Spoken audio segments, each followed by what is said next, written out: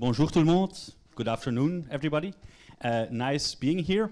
Uh, the fact that you're in this room, basically, the fact that you're at this event means that you love performance. We all love performance.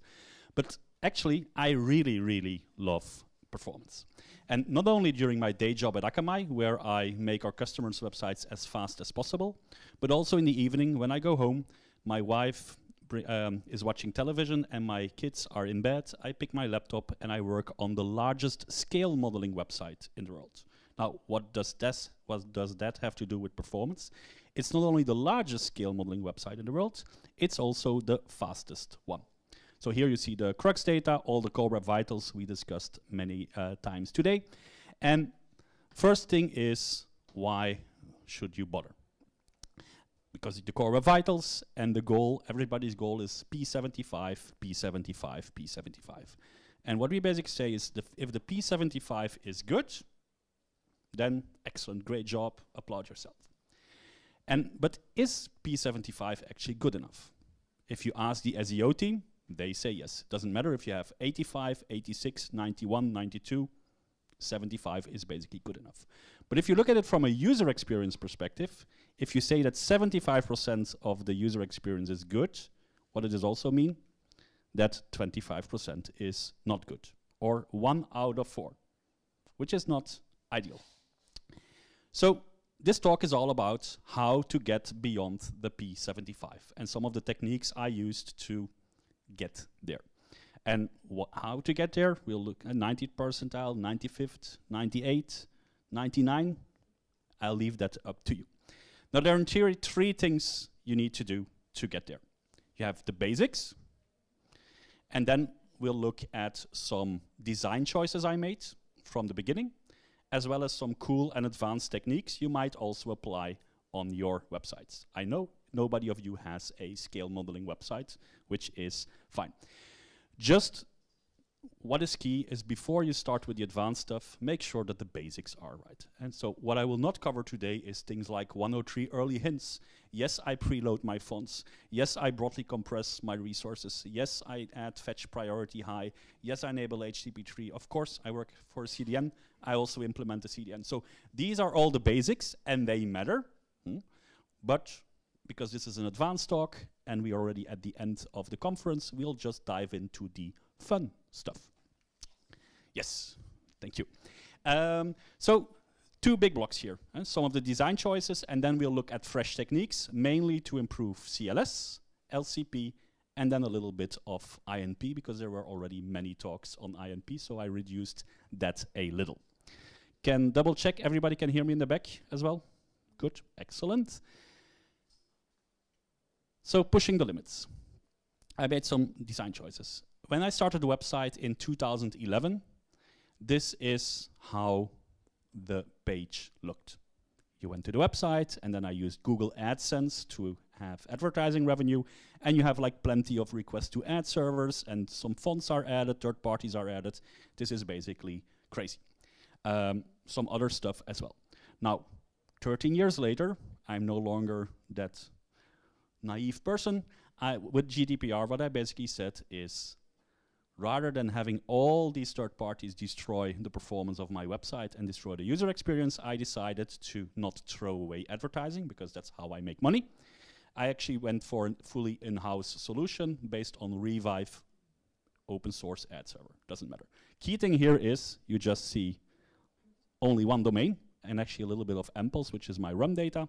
But other than that, everything is on the same domain. So that just gives you some great performance benefits in general. 13 years ago, it's a long time ago, I was young, a little bit naive, and back then still developing in PHP. And back then, multi-page app was still almost the only thing. Sorry? A website. a website, yes, a website, a website. Now, 13 years later, a lot happened. New frameworks, even better frameworks, better frameworks, better frameworks, and my decision was still to basically upgrade my PHP version to the latest version, which takes five minutes, and it's still a multi-page app.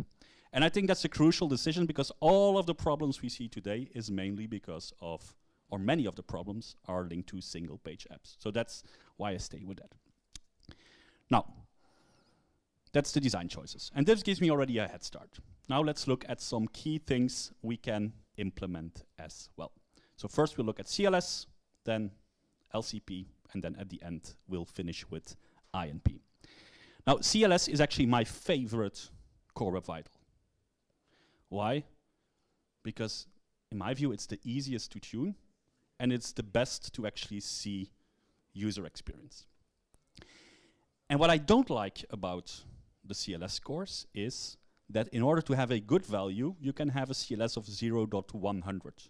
I don't know if you have seen a page where with 0 to 100, it's like shifting like crazy. I don't consider that a good user experience at all. Another reason why I like CLS is because it does not depend on the device you use. It does not depend on the location of the user. It does not depend if it's like if you have like a lot of marketing teams or if you're using Google Tag Manager. CLS is fully under control of the developers. You can just look at a website and if nothing mo if something moves, in my view, you need to fix it. So actually, I'm a big fan of going for a score of 0.0000, no layout shifts at all, because that will give you the best feeling from an end user experience. We can debate about, oh, is LCP 50 milliseconds faster? Will the user notice? No. If you remove a single layout shift, everybody will notice. And just to prove my point, here is a layout shift likely happening on many of your websites of 0.002. So you should have 50 of those before uh, Google says, hey, this is not good user experience. Have a close look. So, like many things, the, the website renders and I have a very fast FCP, so something is painted on the screen. A little bit later, the rest of the content arrives. Who spotted the shift? Yes, let's go, let's go another one. Content arrives, look at the logo, content arrives. One more, let me explain what happens. And some of you already noted, is the page renders fast. And everything is central, um, centralized in the center. Now, at this point in time, there is not enough content for the scroll bar to show up. And the scroll bar is like 10 pixels. Now, a little bit later, more content arrives, and then you basically tell the browser, dear browser, now you need to recalculate everything at that scroll bar. And the solution to this is one rule of CSS, which basically tells, dear browser, whenever you start rendering the page, show that scroll bar all the time. That's basically it. That's one annoying layout shift. And if you remove this one, and uh, then if you go from one page to the other, it will also feel a lot faster. Next, ad blockers. Ad blockers, why do people use them? Because they typically improve performance. That's one of the main reasons ad blockers exist. Now, on my website, actually ad blockers delay regrade performance. Let me show you. So this is the page, and everything adds, uh, everything loads, and then a little bit later, the ads arrive. And because I'm smart, and because I don't like CLS, I added some placeholders so that nothing shifts around. How do you do that? You just add some width and height in your CSS, nothing special. Now, what is the problem? When you, a user installs an ad blocker, and depending on which one, what happens is the page renders lightning fast, and then the ad blocker kicks in and removes the ad slots. And you see two layout shifts, one at the top and one on the sidebar. Everything moves up. Not good for user experience. And depending on how fast it loads and the network conditions, you can either see it or you don't see it. What was my solution? Well, just add a wrapper class around the ad container and give that a width and a height. And if then the ad blocker kicks in and removes the ad slot, the container is still there and nothing shifts around. Very easy. And why? Because this was actually a quite big layout shift happening. Next thing, HTML streaming. I know some of the modern frameworks now say, hey, we do HTML streaming. I stream since more than 10 years, nothing special there for a multi-page app. And just to show you, and this was a small issue, but I actually noted it on certain pages, is the page renders here very fast. Now you need to look at the top right corner. A little bit later, the menu and the rest of the content arrives. Now there are two layout shifts which happened here. A, the select box, which with all sections, is shifted to the left. Why? Because a little bit later, the text area and the input button arrived, and because I do text align right, that's what you basically get. The other thing is, if you look at the width of the select box, that's a second layout shift. Why is that? Because a little bit later, an additional option in the select box was streamed, and the browser said, hey, I need more space. You're looking at the HTML at the exact point in time when that first screenshot is made, basically this is what the browser got. Instructions and then here inst, and then the rest of the bytes. Now, how did I fix that? I like extreme minification. So body class BGL with two quotes. It's two wasted bytes because you can remove the quotes and it's still the same. Now, why does it matter here? Because if I did this, what happened? I actually saw two characters. That's because based on how the streaming worked, some kind of buffer was filled or not filled. So while my wife was watching Grey's Anatomy, I basically picked my laptop and tried to squeeze off as many bytes as possible, but that was that helped a bit, but not entirely. So if you look at where a lot, a lot of content exists on your websites, it's in the head section. There is crazy amount of data there. And actually, Harry Roberts did a, an excellent talk on this, 45 minutes just on this subject. I su um, uh, suggest you to look at it. The order in your head matters, all these things. But key here is, in my view, we ship too much data, which your users don't care about, but which just the crawlers care about, or which just the bots like Facebook and Twitter care about. Just as an example, my website is translated in 20 languages, and hreflang is like the way in the SEO world to say, hey, this is the French version, this is the German version, this is the Dutch version. And this is like a huge amount of data. And yes, I know this gzips well, but still, it's a lot of data. Now, why would you ship this to millions and millions of page views by your real users if the only one reading this is Google and Yandex and other search engines. And actually the solution is quite simple. You can also include this information in your site maps. So rather than shipping this to your end users, just remove it from your pages and add it to your sitemap. Same information, same impact from an SEO perspective, and you're not wasting bytes. Another thing is OG image, OG title, Twitter tag, all that stuff we ship like crazy. They consume bytes for no reason. And in my case, these additional bytes resulted in that select box not being complete, resulted in that uh, text area not being there and the button not being there. So removing all those uh, things. Now, and just as an example, for logged in users, this is how my head looks. No description tag. Who cares about the description tag? No keywords, no other stuff which just are consumed by bots. Send the least amount of data. Now, this might be a complex exercise. Luckily, there is something new available to us. And that's called link rel expect, then an ID, and blocking equals render. Now, what does this do? Here you can see on my page, I added this in the head section, and the href points to the ID of a resource of a container on your page. And here is my ID. And what is this basically saying?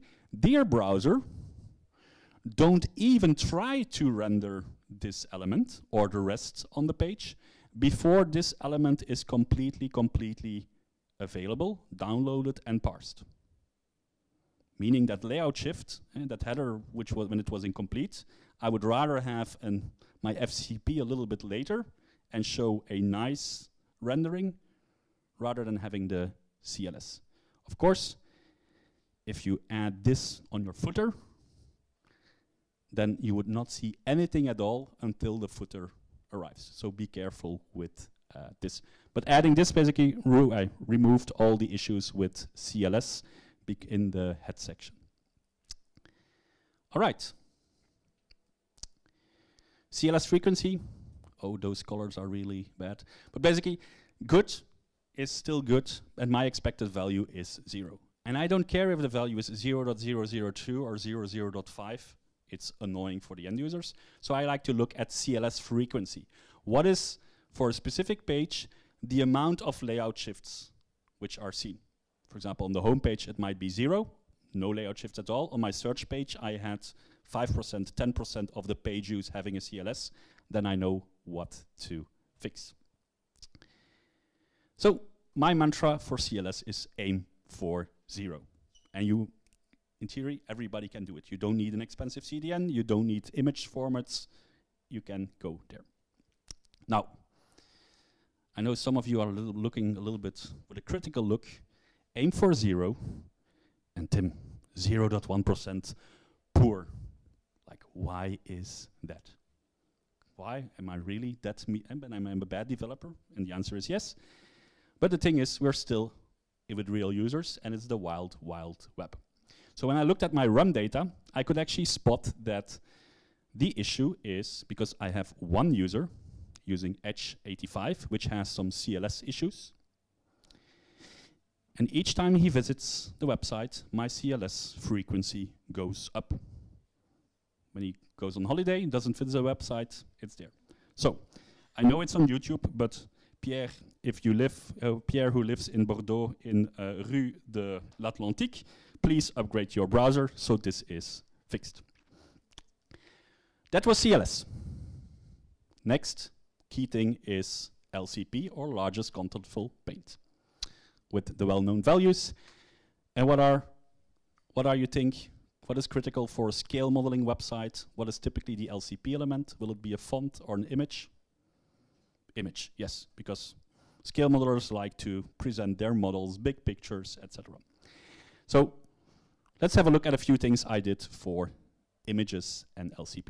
Of course, I have a responsive website, it's 2024. Now, what I did is I selected the breakpoints for my responsive images in a careful way.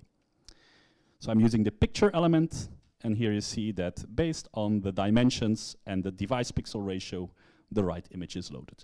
Nothing special here. However, if you look at the pattern, what do you see? That the 540 pixel image is reused. The 720 pixels image is basically reused for a mobile device with 2x, but is also used on a desktop device with only 1x. And reuse, reuse, reuse. Now why would that matter? cache fragmentation, that's the next one. So the first thing is I don't need to generate that many images in my backend. Mm, that's one thing. The other thing is CDN efficiency. Because the more versions you have of an image, the fewer the chance is that that image is actually in cache. If you know I have more than 1 million different products in the database, so some of these contents are almost rarely, rarely seen. If on top of that I would explode the amount of images I have, the chance that I reuse the CDN cache is small. And just as an example, here you see the amount of hits of that. This is now a popular product, the amount of hits, and clearly see that 720 is the most popular object. But if you're looking at the bottom, you see that 540 and 360 are rarely requested. Now, one of the things I'm now evaluating is, should I get rid of my 360 pixels version and just ship by default the 540 pixel version? And why is that? Is it faster to serve the 540 pixels image from cache and sending too many bytes versus having a cache miss on that 360 pixels version going all the way back to my server in Germany. And if you're here in Nantes, it's likely okay. I have users in Australia. So the question is, what is the performance? So I will likely remove, based on this data, I will likely remove that smallest thing. Remember, in the beginning, I shave off bytes, I shave off bytes. And some of you might say, Tim, why do you use the picture element? Remember that picture element was crazy amount of bytes, plenty of DOM elements. Why can't I just use this? A lot simpler, a lot cleaner, a lot easier to maintain. There is one big problem here. There is no DPR capping. So, what will the browser do? It will, let's actually have a look.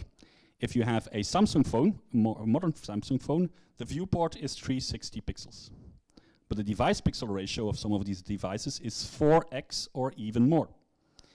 Which image is selected by the browser? It's 360 times 4, and then the next big, uh, the closest one. So in this case, it matches the 1440 pixels. Now, if that Samsung phone is on the train from Paris to Nantes and you're on 3G, 4G, and you need to download a 1440 pixels image, that is likely too much. And with the previous one, I was able to fixate and say, hey, don't chart, don't load images which are larger than 2x. Next is wrong LCP candidates. Just quick, by now everybody should know what is the LCP element here? The big product picture in the middle. Hmm. Now, I have a lot of user-generated content, uh, so scale modelers all over the world, they maintain the database and they upload pictures. Now, while I can ask them to upload big pictures, sometimes they add. They might just have a smaller picture of that product. Now, what is the LCP element in this case? It's the banner. Now, what is the problem with banners? They are late discovered because for the banner to check, I first need to run the JavaScript. Yes, it's local. Yes, it's all fast, but it still takes some time. The banners are discovered late, and that's the LCP element. So there are two options I have. A is ask, nudge my users, can you please upload a bigger picture? And basically by adding more bytes, I would make my LCP faster. That's the best from a user experience perspective because everybody likes big pictures. Now, I can nudge them, I can't force them. I would rather have a small image than no image at all. And that's why I introduced a technique, I call that fast fallback banner. And it's exactly doing that. It's fast, and it's a fallback uh, banner. And what is basically, it's an early discovered image. When I render my page, when I generate my page on the server using PHP, I know the dimensions of the image which will be included. So I calculate the size, and if it's below a certain value, then I know, oh, I don't want to show the real ad. I fall back to a default ad. And that could, for example, be a coffee, coffee mug of ScaleMates. Or could be a, um, let's say, an event I sponsor where I just show those, those banners. So on those locations, I don't care about the correct amount of impressions. I don't care about the correct amount of uh, money. It's basically free ads which are then run. Easy, but it's a great way. Everybody still with me? Nobody fell asleep? Thank you very much. Uh, so now let's look at the next thing. So we looked at HTML, uh, sorry, we looked at images. Now what is the next big thing which impacts your performance and your LCP is the HTML. Now I have a international audience. Uh, so not just France, not just Germany, not just Belgium, Brazil, Australia, New Zealand, basically everywhere around the world. And my server is in Germany, Frankfurt. And when I looked at my RUM data, I could basically see that if you're far away from Germany, then the performance degrades. Mm. Uh, what is bad here? Australia very bad, Japan very bad, nothing special. And the reason is simple.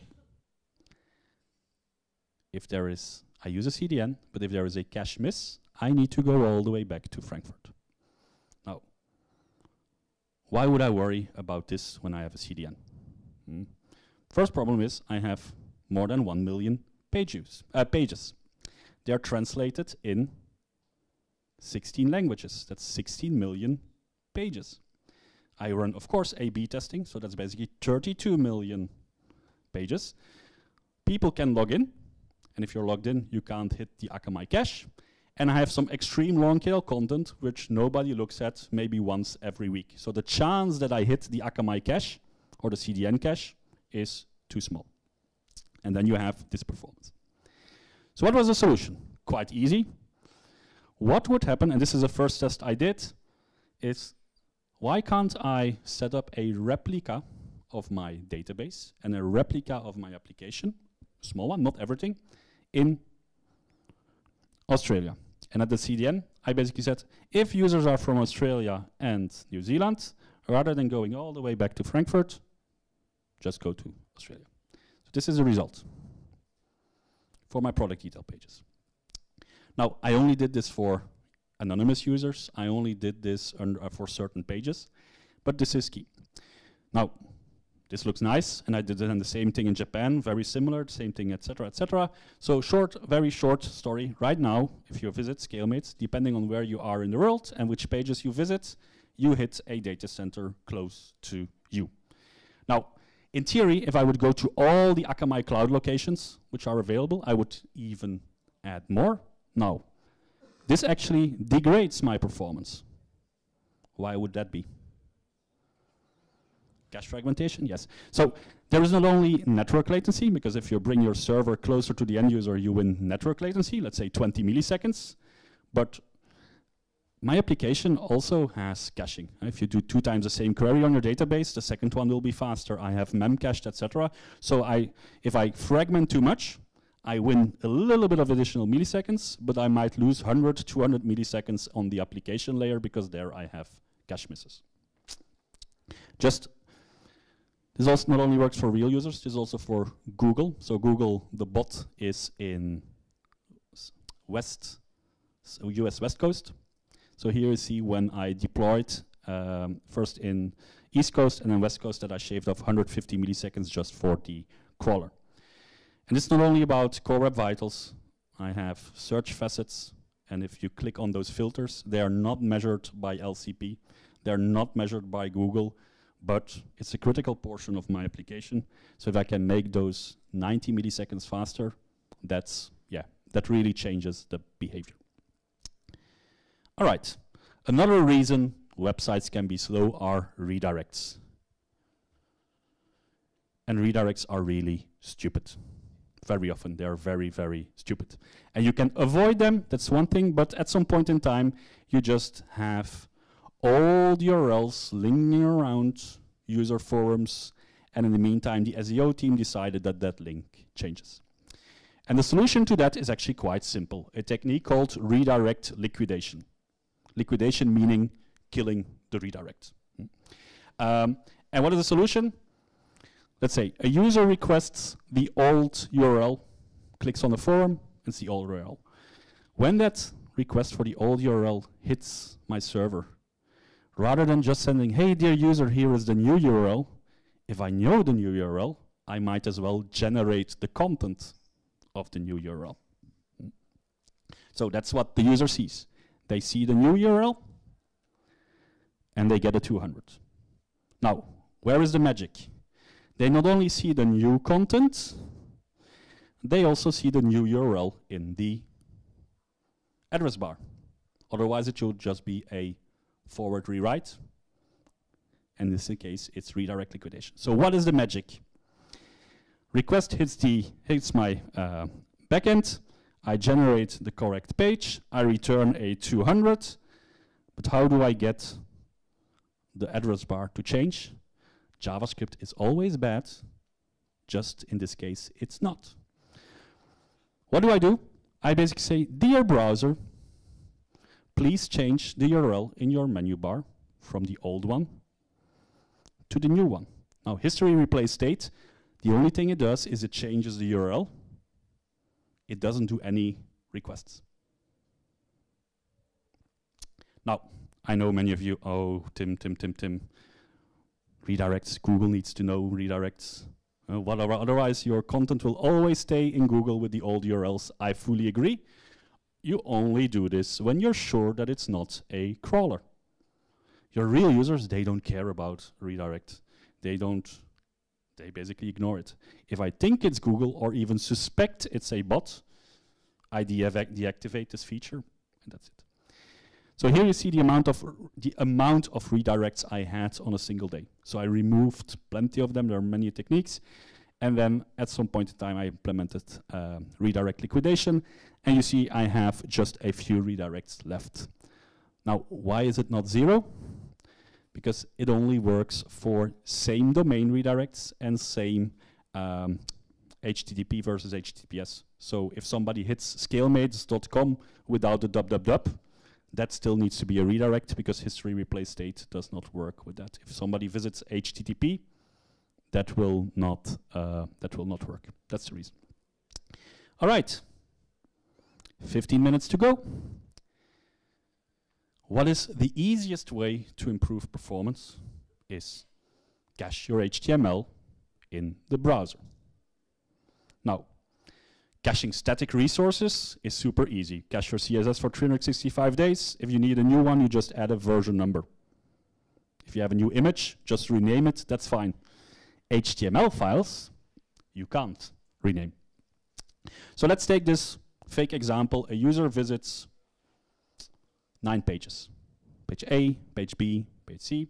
And at some point in time, you see that page B is requested a second time, and page A is also requested a second time. Because I added max age of 600 seconds, you basically serve them from cache, so these two files would be lightning fast. That's all easy. But the problem starts here. On my website, users can also log in. Say, hey, I'm Tim, and I want this model. This is on my wish list. This is how I manage my collection. And what is the problem? If users already have objects in their cache and then log in, let's say I log in between page 4 and 5, and next I visit page A, what happens? The user sees the cached page and thinks they are logged out. And I don't know, but when I deploy this to production, my users yelled at me, they emailed me, they messaged me on Facebook, they messaged me on WhatsApp, they even faxed me. They basically were very, very unhappy because while I care about performance, this is very, very, very bad user experience because they said, oh, let's log out, let's log in again, and they do crazy things. Luckily, this problem goes away, and it only happens during what I call the RLI, or recently logged in risk zone, which basically depends on how long you cache your HTML. If you cache your HTML for 10 seconds, after 10 seconds, that problem is gone. So one solution is reduce the TTL, reduce the TTL, two seconds, one second. I reduce the problem, but sometimes it was still there. On the other hand, if you cache for two seconds, what is the chance that two user that a user visits the same page within two seconds? Zero. Hmm. So, some of you might say, hey Tim, I know this header called clear site data cache. If you add this HTTP response header, for example, just after your login, you basically tell the browser, dear browser, delete the browser cache for this website. First problem is it deletes the entire browser cache, so also your CSS, JavaScript images, which might already be loaded, which in theory is reasonable, and also the HTML. That solves the problem. The only problem is it's slow. Here you see the LCP, 15 seconds, 30 seconds, 45 seconds, 60 seconds. And this was mainly on slow devices where just clearing the local cache from disk takes time. Nobody likes to wait 45 seconds before they actually see something on screen.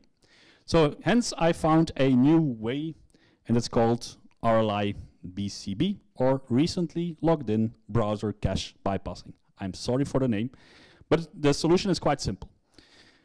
When the user log in, logs in, I add a cookie saying, hey, this user just logged in. And I, let's say it's valid for 15 minutes. When then the user hits my origin, rather than generating links by default, I append a, an additional query string RLI equals 1 meaning that any versions in cache don't have that query string parameter. So each time they click on a link within that 15 minutes, I bypass anything potentially in the browser cache. Users don't like to see RLI equals one in the browser bar, so I use the same technique, history replace state, and I remove that RLI equals one. And this works like a charm, and because of that, I can now cache my HTML for 60 minutes in the browser. All right, last, oh no, not last but not least, but almost last but not least. Progressive speculation rules. Um, and I actually hope that Barry Pollard from Google would actually have been here to talk about what speculation rules are. So I will quickly do that, although it's in theory basics, it's nothing special, but it's still new. And then I will look at a technique I call progressive speculation rules. So this was introduced by uh, Barry, who is now sitting in the other room uh, at Google I.O. And actually shared um, some of the things I did. For example, here at the bottom you see that I was able to improve my LCP with 500 milliseconds at the P95, just by implementing speculation rules. And what is speculation rules? It, it promises you nearly instant performance. And here you see 80 milliseconds LCP when the user navigates on your website. Actually have, my record is 24 milliseconds but typically it's, let's say, if everything goes well, around 80 milliseconds. And the only thing you need to do is inject this little JSON snippet on your page. And what does this JSON snippet say? It say, what do you need to um, speculate on? So that can be either hard-coded URLs or in this case, uh, CSS selectors. It tells you what the action is you want the browser to do. So either prefetch, this will request the HTML just the HTML early on and put them in the pre-fetch cache. And then the action pre-render will actually take the HTML, parse the HTML, run all the JavaScript, call all the images, call all the fonts, and basically have the page ideally fully ready. And the moment the user clicks, all the work is already done. And then you can also instruct the browser how eager, when do you want to do this? Uh, do you really want to be sure before starting the pre-rendering or you really want to do it aggressively. And just here you see the default one. When a user clicks, the HTML just requested some images, LCP happens, nothing special here. When you pre-fetch with eagerness conservative, when the user clicks on the link, has uh, basically when the mouse goes down, in this case, Chrome will actually already trigger the HTML. While the user has not clicked yet, it will trigger this request a little bit earlier.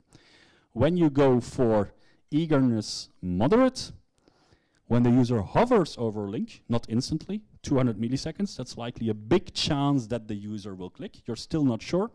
That request, that HTML is already requested. If you do pre-render, same thing, only difference is that now also the images, the CSS, the page is actually requested and executed in the background. And in the bottom example, you see that when the user then actually clicks, everything is, your LCP is instant. Of course, this depends on the time you have between the actual click and when you start the pre-rendering and when you start the hovering.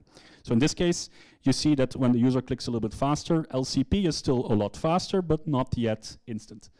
In case your website is a little bit slower and your HTML takes more time, it's still a great way for improving performance, but it's no longer instant.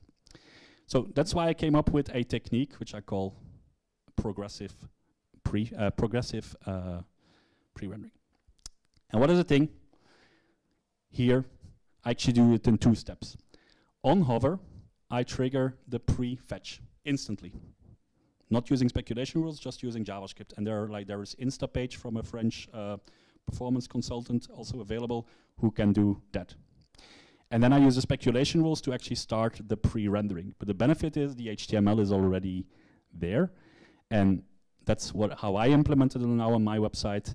Uh, you can also do it moderate, is basically I trigger the HTML when I hover over the link instantly. 200 milliseconds later, I trigger the pre-rendering. And this gives you really, really nice performance. I will skip that. And then last but not least, INP. Many talks on INP today. And the only thing I can say here is yes. Um, now, to finish, while you now might think, oh, Tim, this, this guy is like a little bit crazy, 98, 99, is that really needed? And while I love web performance, in the end, it's all about the user experience. And for example, last year, I made a change to the website and I increased the size of my images because that's what people come for to my website. And the bigger images the better user experience. I basically decided I'm, my website is fast enough so i can actually degrade the performance a bit to increase the user experience. Another thing is a new technique now for multi-page apps which is available is view transitions. If you really purely look at the lcp um, at the lcp value you will see that view transitions delays that if it's instant 25 milliseconds with view transitions, it will be 125 milliseconds. Now, in theory, could say, hey, that's a lot slower. But from an end user perspective, this feels faster, this looks nicer, the navigation looks nicer. So, yes, try to improve your performance, but also don't be too blind for the numbers alone.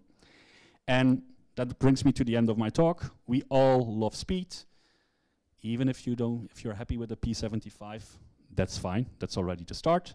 But I hope that at least for some of you, I gave some um, ideas to go beyond the P75. Maybe not the P99 like I do, but that's okay. So with that, I would say thank you very much for your time. Merci beaucoup pour votre temps. And if you have any questions, you can ask them now. You can also ask them in French, and I'll just translate them on the fly. Merci.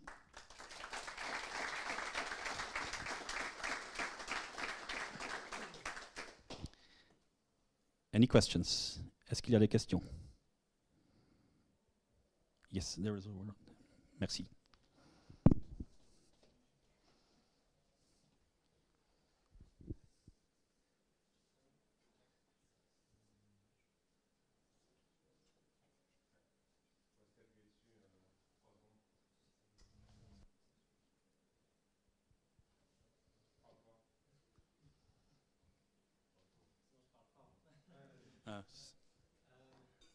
Can we use uh, speculation uh, rules on uh, on SPA on single page application?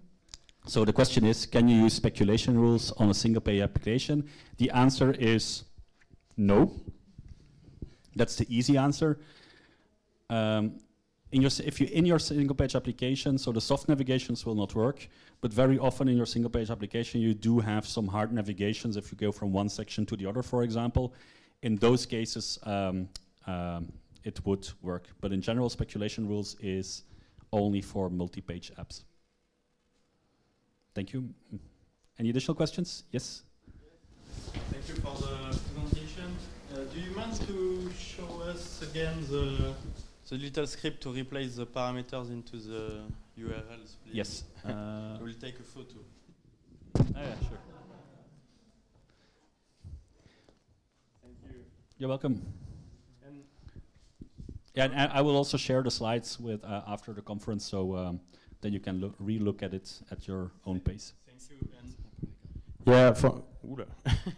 for regarding the script, is it okay for SEO? Uh, I mean, uh, how Googlebot uh, Yeah, yeah. with this type There- Yeah. So SEO is always a diff, uh, um, and there, in my view, uh, so I have I have this now on my website since more than two years, uh, because some people say, hey, you're serving different content to Googlebot than to the end user. Um, and I fully agree that you should never do that. Uh, let's say if it's is if the idea is to uh, fool Google in the other way the other way around. Um, from an end user perspective, everybody still sees the same content, and the final result is still uh, the same. And in my view, it's a bit the same as I do also A/B testing, and if I do A/B testing, the content is also a little bit different. So in my view, there is no issue. The only thing you should be aware of that make sure that when Googlebot comes, send them the redirect, so you actually send them the, that they update their index. but that's the only thing. So I don't see an issue with SEO, but SEO teams can have different opinions on that. Okay, thank you. Merci. Any additional questions? If not, thank you very much for your time. Merci beaucoup.